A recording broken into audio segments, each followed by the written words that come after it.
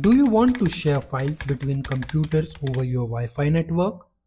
In this video, you will see how to connect and share files between computers over Wi-Fi.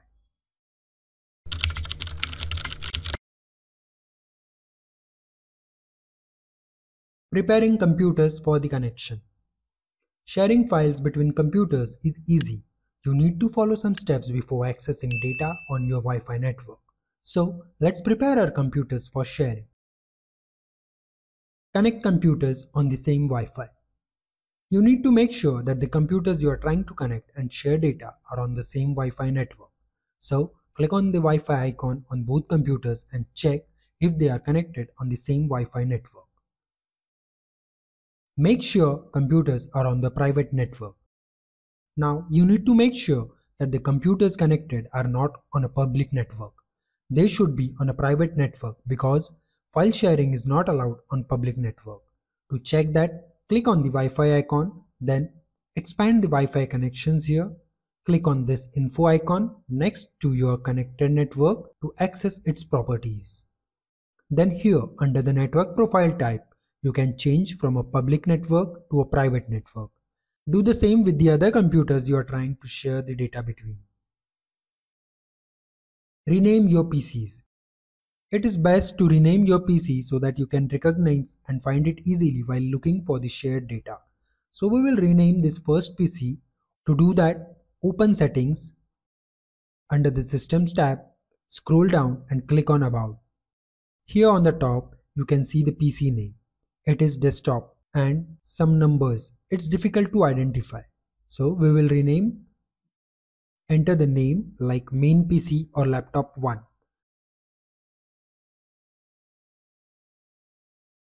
Similarly, we will rename our second PC also. We will use laptop 2 as a name for this one. Enable file and printer sharing. The next thing you need to do is enable file and printer sharing. Although file and printer sharing is enabled on the private network, we should look at the settings to know the available options. Open the settings, click on the network and internet, scroll down and click on the advanced sharing settings. Then under the more setting, click on the advanced share settings. If you are on the Windows 10, you can search for advanced sharing settings on the start menu. You will see the control panel window. Settings are very much similar to Windows 11.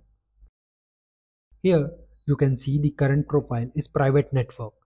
The network discovery and file printer sharing are enabled here. Now here if we expand the all network, you will see public folder sharing. If you enable this, other people on the network will also be able to read and write in the public folders. Another setting to look at is password protected sharing. If you enable this, people who have user accounts or know the username and password of this PC can access shared files. If you trust the people on your network, you can disable this option and they don't have to enter a username and password before accessing the shared files. Otherwise, it's best that you keep it enabled. Sharing the files, folders or drive. Now that we have configured everything, we can share the data. We are sharing the data on laptop 1. Right click on the folder you want to share, then select properties. Click on the sharing tab. Here select advanced sharing and then select this folder. You can click on the permission to manage read and write permissions for a particular or all users. You can click on add users to add specific users here. If you know the username, you can just type that here and click on the check names to confirm the user. If you don't know the exact username, click on the advanced. Here click on the find now you will see the list of all the users and users group on your PC.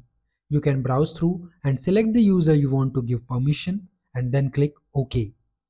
Now here you can provide permission to only read, change or have full control.